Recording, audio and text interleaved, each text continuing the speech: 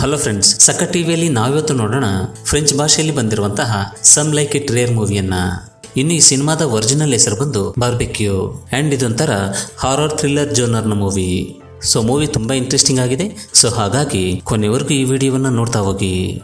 Cinema open ಆಗುತ್ತಲೇ ನಾವು Sophie Vincent ಅನ್ನುವಂತಹ ಗಂಡ ಹೆಂಡತಿಯರನ್ನು ನೋಡ್ತೇವೆ.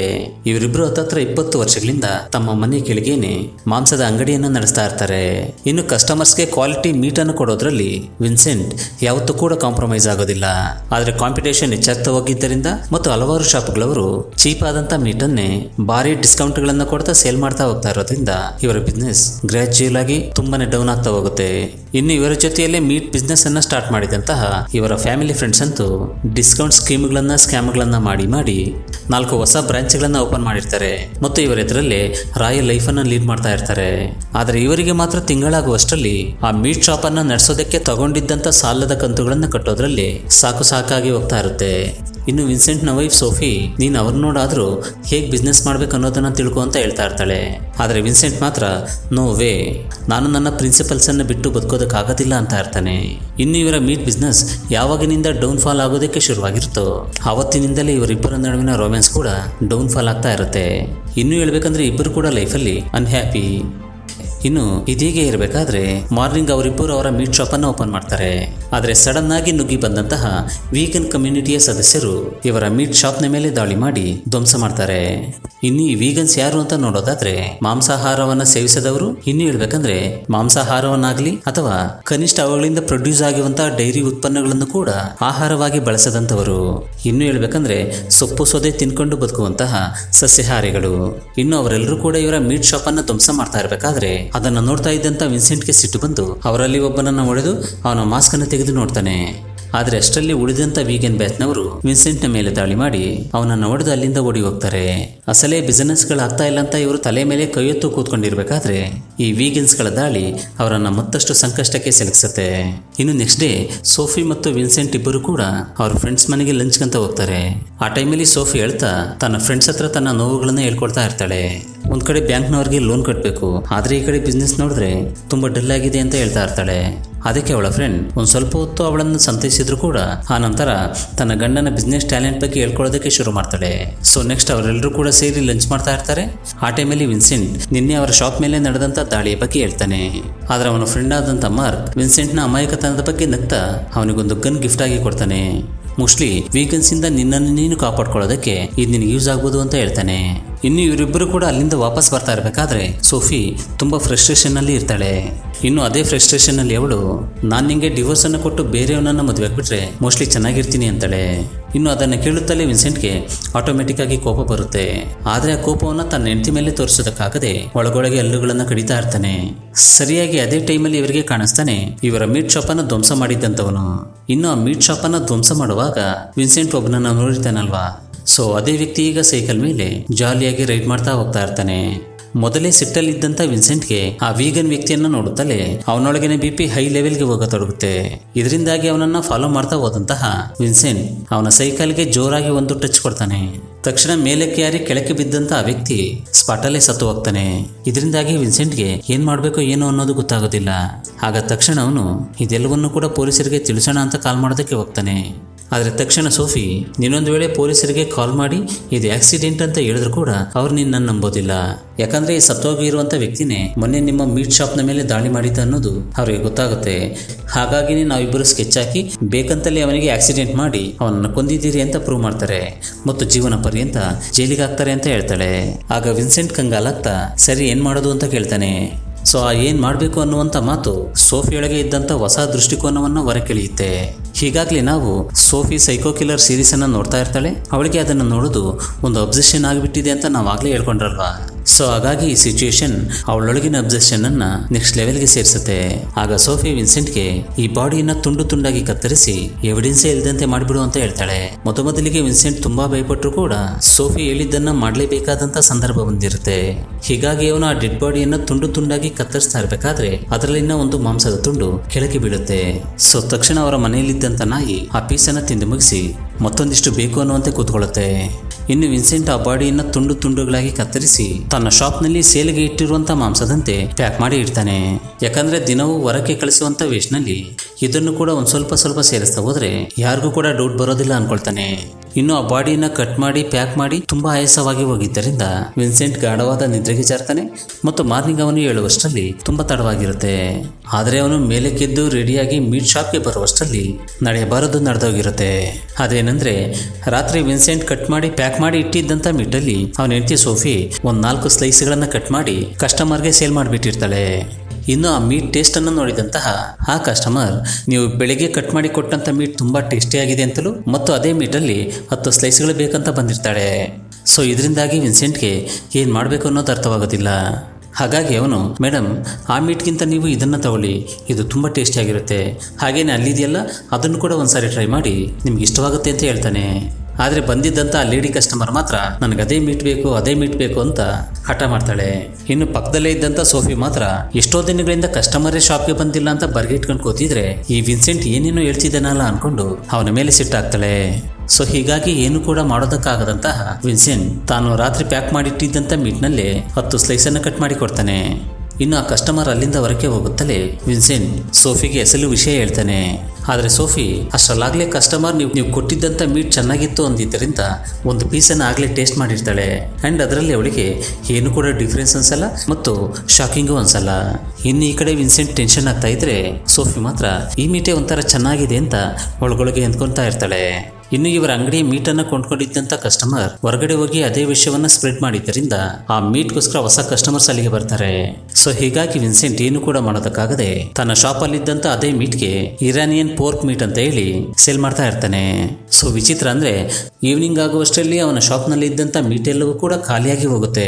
ಸೊ ಹೀಗಾಗಿ ವಿನ್ಸೆಂಟ್ ಕೂಡ ಒಂದು ಪೀಸನ್ನು ತೆಗೆದು ಪಕ್ಕಕ್ಕೆ ಇಟ್ಕೊಳ್ತಾನೆ ಇನ್ನು ತುಂಬಾ ದಿನಗಳ ನಂತರ ಅವರ ಗಲ್ಲಾಪೆಟ್ಟಿಗೆ ತುಂಬಿ ಹೋಗಿದ್ದರಿಂದ ಸೋಫಿಯ ಮುಖ ಸಂತೋಷದಿಂದ ಅರಳಿ ಹೋಗ್ತಾ ಇರುತ್ತೆ. ಇನ್ನು ತನ್ನ ಹೆಂಡತಿ ಸೋಫಿಯಾ ಮತ್ತು ಅವರ ಶಾಪ್ಗೆ ಬಂದಿದ್ದಂಥ ಕಸ್ಟಮರ್ಸ್ ಆ ಮೀಟ್ನ ಬಗ್ಗೆ ತುಂಬಾ ಪಾಸಿಟಿವ್ ಆಗಿ ಹೇಳಿದ್ದರಿಂದ ತಕ್ಷಣ ವಿನ್ಸೆಂಟ್ ತಾನು ತೆಗೆದಿಟ್ಕೊಂಡಿದ್ದಂಥ ಒಂದು ಪೀಸನ್ನು ಡ್ರೈ ಫ್ರೈ ಮಾಡಿ ತಿನ್ನತೊಡಗ್ತಾನೆ. ಆ್ಯಂಡ್ ಅದರ ಟೇಸ್ಟ್ಗೆ ಸ್ಪೆಲ್ ಬೌಂಡ್ ಆಗ್ತಾನೆ. ಅಷ್ಟರಲ್ಲಿ ಸೋಫಿಯಾ ಅಲ್ಲಿಗೆ ಬರ್ತಾಳೆ. ಇನ್ನು ಈ ಸಸ್ಯಾಹಾರಿಗಳ ರಕ್ತ ತುಂಬಾ ಪ್ಯೂರ್ ಆಗಿರೋದ್ರಿಂದ ಅವರ ಮೀಟ್ ಕೂಡ ತುಂಬಾ ಟೇಸ್ಟಿ ಆಗಿರುತ್ತೆ ಅಂತ ಹೇಳ್ತಾಳೆ. ಜೊತೆಗೆ ನಾವು ದುಡ್ಡು ಸಂಪಾದಿಸ್ಬೇಕಂದ್ರೆ ಈ ಸಸ್ಯಾಹಾರಿ ಜನರನ್ನು ಕೊಂದು ಅವರ ಮೀಟನ್ನು ಸೇಲ್ ಮಾಡ್ತಾ ಹೋದ್ರೆ ನಾವು ತುಂಬಾ ದುಡ್ಡು ಸಂಪಾದಿಸ್ಬೋದು ಅಂತ ಹೇಳ್ತಾಳೆ. ಆದರೆ ವಿನ್ಸೆಂಟ್ ಅದಕ್ಕೆ ಒಪ್ಕೊಳ್ಳೋದಿಲ್ಲ ಮತ್ತು ನೀನು ಯಾವಾಗಲೂ ಆ ಸೀರಿಯಲ್ ಕಿಲ್ಲರ್ ಶೋಗಳನ್ನು ನೋಡೋದನ್ನ ಕಡಿಮೆ ಮಾಡು ಅಂತ ಹೇಳ್ತಾನೆ. ಇನ್ನು ಇದಕ್ಕೂ ಮುಂಚೆ ಆಕ್ಸಿಡೆಂಟ್ ನಡೆದಂತ ಸಂದರ್ಭದಲ್ಲಿ ಸೋಫಿ ಸೈಕೋ ಕಿಲ್ಲರ್ ಅಂತ ಆಲೋಚನೆ ಮಾಡಿರ್ತಾಳೆ.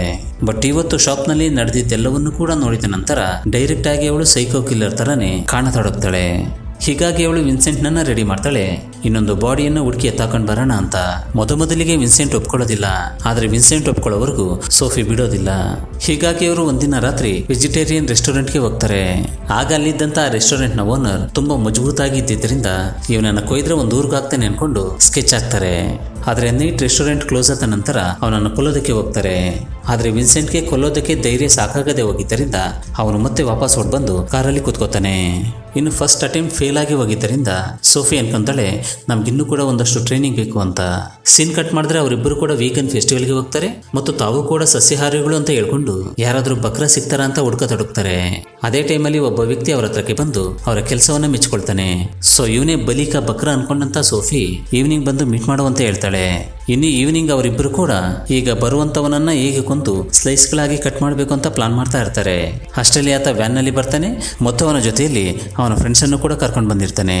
ಸೊ ಹೀಗಾಗಿ ವಿನ್ಸೆಂಟ್ ಮತ್ತು ಸೋಫಿ ತಮ್ಮ ಪ್ಲಾನ್ ಅನ್ನು ಕ್ಯಾನ್ಸಲ್ ಮಾಡ್ಕೊಳ್ತಾರೆ.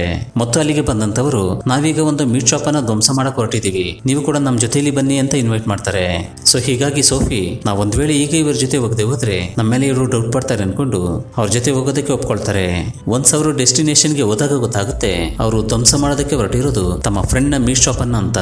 ಇನ್ನು ಸೋಫಿ ಅಲ್ಲಿಂದ ಹೊರಟೋಗ್ಬಿಡೋಣ ಅಂತ ಹೇಳಿದ್ರು ಕೂಡ ವಿನ್ಸೆಂಟ್ಗೆ ಮಾತ್ರ ಅವನ ಫ್ರೆಂಡ್ ಮೇಲೆ ಜಲಸ್ ಇರುತ್ತೆ. ಹೀಗಾಗಿ ಅವನು ಅವನ ಫ್ರೆಂಡ್ ಮೀಟ್ ಶಾಪ್ ಅನ್ನ ಚಿಂದಿ ಉಡಾಯಿಸ್ತಾನೆ. ಸೀನ್ ಕಟ್ ಮಾಡಿದ್ರೆ ಲವ್ ಬರ್ಡ್ಸ್ ಇಬ್ಬರು ಕೂಡ ಒಂದು ರೆಸ್ಟೋರೆಂಟ್ನಲ್ಲಿ ಕೂತ್ಕೊಂಡು ಯಾರಿಗೂ ಕೂಡ ಅನುಮಾನ ಬಾರದಂತೆ ವೀಗನ್ಸ್ ಅನ್ನ ಹೇಗ್ ಕೊಲ್ಲಬೇಕು ಅಂತ ಪ್ಲಾನ್ ಮಾಡ್ತಾ ಇರ್ತಾರೆ. ಆದ್ರೆ ಸಡನ್ ಆಗಿ ಅವರಿಬ್ಬರ ಮಧ್ಯೆ ಯಾವುದೋ ಸಣ್ಣ ವಿಷಯಕ್ಕೆ ಜಗಳವಾಗಿದ್ದರಿಂದ ವಿನ್ಸೆಂಟ್ ಸೋಫಿಯನ್ನ ಬೈದು ಅಲ್ಲಿಂದ ಹೊರಟು ಹೋಗ್ತಾನೆ.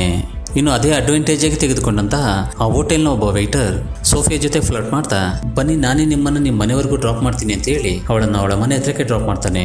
ಆದ್ರೆ ಅದೇ ಟೈಮಲ್ಲಿ ಫ್ಲರ್ಟಿಂಗ್ ಒಂದು ಸ್ವಲ್ಪ ರೊಮ್ಯಾಂಟಿಕ್ ಆಗಿ ಅಕಸ್ಮಾತ್ ಆಗಿ ಇಬ್ಬರು ಕೂಡ ಕಿಸ್ ಮಾಡ್ತಾರೆ. ಇನ್ನು ಆತ ಸಸ್ಯಹಾರಿ ಅನ್ನೋದನ್ನ ತಿಳ್ಕೊಂಡಂತಹ ಸೋಫಿ ಅವನ ಲಿಪ್ಸ್ ಅನ್ನ ಕಚ್ಚಿ ಗಾಯಗೊಳಿಸಿರ್ತಾಳೆ. ಓ ಸಾರಿ ನಾನು ನೋಡ್ಲಿಲ್ಲ ಅಂತಂದು ಒಂದೆರಡು ನಿಮಿಷ ಮನೆಗೆ ಬಂದು ಫಸ್ಟ್ ಏಡ್ ಮಾಡ್ಕೊಂಡು ಹೋಗಿ ಅಂತ ಹೇಳ್ತಾಳೆ. ಅಂಡ್ ಪ್ಲಾನ್ ಪ್ರಕಾರ ಅವನನ್ನ ಮನೆಯೊಳಗೆ ಕರ್ಕೊಂಡು ಬರ್ತಾಳೆ.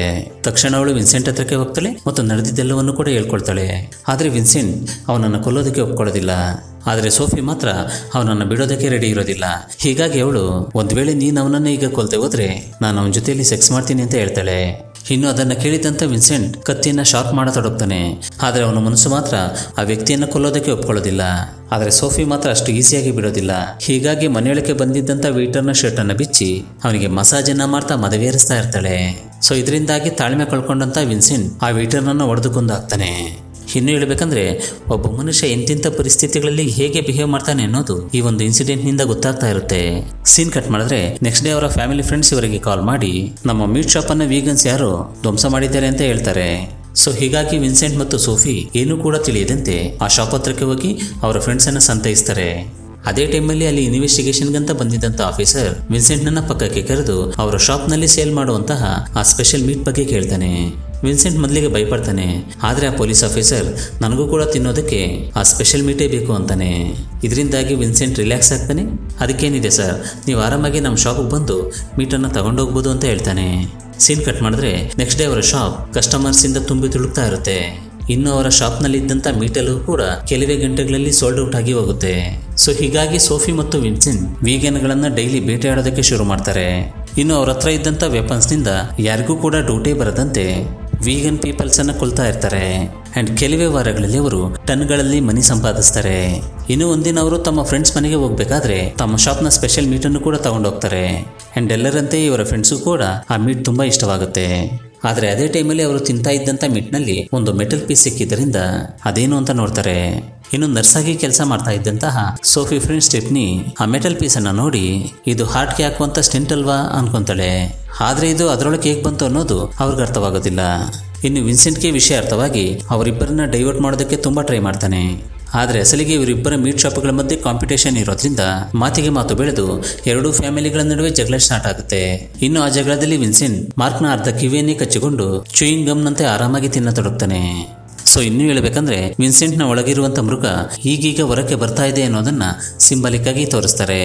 ಇನ್ನು ಅವನ ಬಿಹೇವಿಯರ್ ಅನ್ನ ನೋಡಿದಂತಹ ಮಾರ್ಕ್ ಮತ್ತು ಸ್ಟೆಫ್ನಿ ಇಬ್ಬರು ಕೂಡ ಭಯಬಿದ್ದು ಹೋಗ್ತಾರೆ. ಇನ್ನು ಇವರಿಬ್ಬರ ಬಿಸ್ನೆಸ್ ತುಂಬಾ ಫಾಸ್ಟ್ ಆಗಿ ನಡ್ತಾ ಇರೋದ್ರಿಂದ ಅವಾಗ ಯಾವಾಗಲೂ ಕಳೆದು ಹೋಗಿದ್ದಂತಹ ಇವರಿಬ್ಬರ ರೊಮ್ಯಾನ್ಸ್ ಮತ್ತೆ ಹಳಿಗೆ ಬರುತ್ತೆ. ಮದುವೆಯಾದಂತ ಹೊಸದರಲ್ಲಿ ಗಂಡ ಹೆಂಡತಿ ಹೇಗಿರ್ತಾರೋ ಹಾಗೆ ಬದಲಾಗಿ ಹೋಗ್ತಾರೆ. ತುಂಬಾ ವರ್ಷಗಳ ನಂತರ ಸಿಕ್ಕಿದಂತ ಸಕ್ಸಸ್ ಅನ್ನ ಸೆಲೆಬ್ರೇಟ್ ಮಾಡ್ತಾ ಆ ಟೋಟಲ್ ಪ್ರೋಸೆಸ್ ಇವರನ್ನ ಒಂದು ಜೋಶ್ಗೆ ಕರ್ಕೊಂಡು ಹೋಗುತ್ತೆ. ಹೀಗಾಗಿ ಇವರು ವೀಗನ್ಗಳನ್ನ ಹುಡುಕ್ತಾರೆ, ಬೇಟೆಯಾಡ್ತಾರೆ ಮತ್ತು ಅವರ ಬಾಡಿಗಳನ್ನು ತುಂಡು ತುಂಡಾಗಿ ಕತ್ತರಿಸಿ ಆರಾಮಾಗಿ ಜನರಿಗೆ ಸೇಲ್ ಮಾಡ್ತಾ ಇರ್ತಾರೆ. ಇನ್ನು ಪೊಲೀಸರು ಕೂಡ ವೀಗನ್ ಕಮ್ಯುನಿಟಿಗೆ ಸೇರಿದಂತ ಮನುಷ್ಯರು ಮಿಸ್ ಆಗ್ತಾ ಇದ್ದಾರೆ ಅನ್ಕೊಂಡು ಇನ್ವೆಸ್ಟಿಗೇಷನ್ ಶುರು ಮಾಡಿರ್ತಾರೆ. ಆದ್ರೆ ಇವರಿಗೆ ಯಾವುದೇ ಕ್ಲೂ, ಒಂದು ಸಣ್ಣ ಎವಿಡೆನ್ಸ್ ಕೂಡ ಸಿಗೋದಿಲ್ಲ.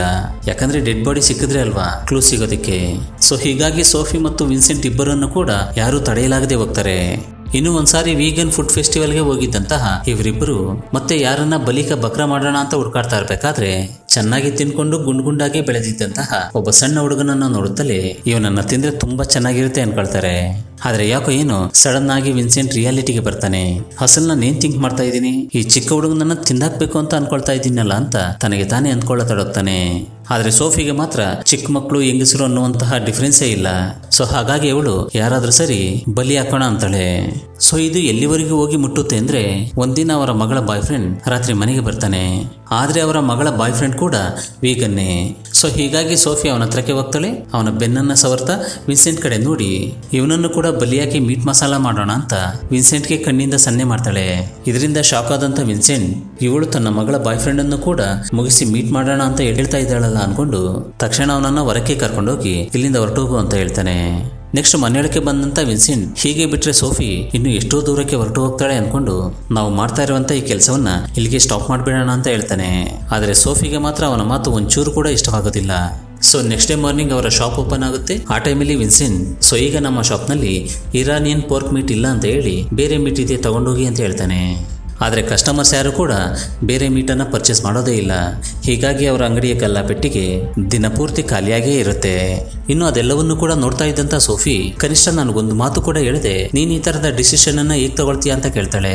ಇದರಿಂದ ವಿನ್ಸೆಂಟ್ ವಿಪರೀತ ಸಿಟ್ಟಾದ್ರೂ ಕೂಡ ಹೀಗೆ ಇವಳ ಹತ್ರ ಜಗಳ ಯಾಕೆ ಅನ್ಕೊಂಡು ಸೈಲೆಂಟ್ ಆಗಿ ತನ್ನ ನಾಯಿಯನ್ನ ಕರ್ಕೊಂಡು ಹೊರಕ್ಕೆ ವಾಕಿಂಗ್ ಹೊರಟ ಹೋಗ್ತಾನೆ ಸೊ ಇದೇಗೆ ಇರಬೇಕಾದ್ರೆ ಇವರಿಬ್ರು ಕೂಡ ವೀಗನ್ ಕಮ್ಯುನಿಟಿ ಸದಸ್ಯರ ಜೊತೆ ನಾವು ಕೂಡ ವೀಗನ್ಸೇ ಅನ್ಕೊಂಡು ಎಲ್ಲಾ ಕಡೆ ತಿರುಗಾಡಿದ್ರಲ್ವಾ?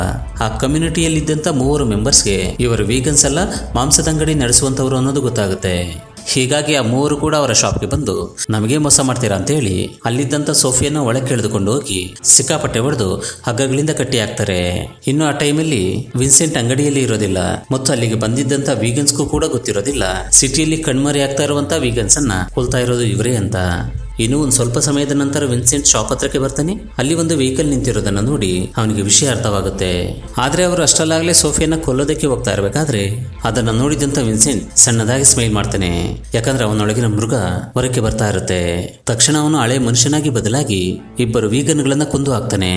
ಇನ್ನು ಉಳಿದಂತ ಒಬ್ಬ ವೀಗನ್ ಅನ್ನ ಸೋಫಿ ಕೊಂದಾಕ್ತಾಳೆ. ಹೀಗೆ ಕೆಲವು ದಿನಗಳು ಕಳೀತವೆ. ಸೀನ್ ಕಟ್ ಮಾಡಿದ್ರೆ ಸೋಫಿ ನೈಟ್ ಹೊತ್ತು ನೋಡ್ತಾ ಇದ್ದಂತಹ ಕ್ರೈಮ್ ಸ್ಟೋರಿ ಪ್ರೋಗ್ರಾಮು. ಆದರೆ ಆ ಸ್ಟೋರಿಯಲ್ಲಿ ಅಪರಾಧಿಗಳು ಇವರೇನೆ? ಹತ್ತತ್ರ ಮೂವತ್ತೊಂದು ಜನರನ್ನ ಕೊಂದ ನಂತರ ಇವರಿಬ್ಬರು ಪೊಲೀಸರಿಗೆ ಸಿಗ್ಬಿದ್ದಿರ್ತಾರೆ ಇನ್ನು ಅದೇಗೆ ಪೊಲೀಸರಿಗೆ ಗೊತ್ತಾಯ್ತು ಅಂತ ನೋಡೋದಾದ್ರೆ ಇವನ ಫ್ಯಾಮಿಲಿ ಫ್ರೆಂಡ್ ಆದಂತ ಮಾರ್ಕ್ ಇದ್ನಲ್ವಾ? ಒಂದ್ ಟೈಮಲ್ಲಿ ಅವರಿಬ್ಬರಿಗೂ ಜಗಳವಾದಂತ ಸಂದರ್ಭದಲ್ಲಿ ವಿನ್ಸೆಂಟ್ ಮಾರ್ಕ್ನ ಕಿವಿಯನ್ನ ಕಚ್ಚಿ ಚೂಯಿಂಗ್ ಗಮ್ ತರ ಅಗೆದು ತಿಂದ್ಬಿಟ್ಟಿರ್ತಾನೆ. ಅಂಡ್ ಅದನ್ನ ನೋಡಿದಂತ ಯಾರಿಗೆ ಆದ್ರೂ ಕೂಡ ಇವರು ಮನುಷ್ಯರಲ್ಲ ಅನ್ನೋದು ಅರ್ಥವಾಗ್ತಾ ಇರುತ್ತೆ. ಹೀಗಾಗಿ ಅವನು ಇವರ ಶಾಪ್ನಲ್ಲಿ ಸೇಲ್ ಮಾಡ್ತಾ ಇರುವಂತ ಮೀಟನ್ನ ತರಿಸ್ಕೊಂಡು ಅದನ್ನ ಲ್ಯಾಬ್ಗೆ ಕಳಿಸಿರ್ತಾನೆ. ಅಂಡ್ ಅದರಲ್ಲಿ ಪ್ರೂವ್ ಆಗಿರುತ್ತೆ ಅದು ಮನುಷ್ಯರ ಮಾಂಸ ಅಂತ.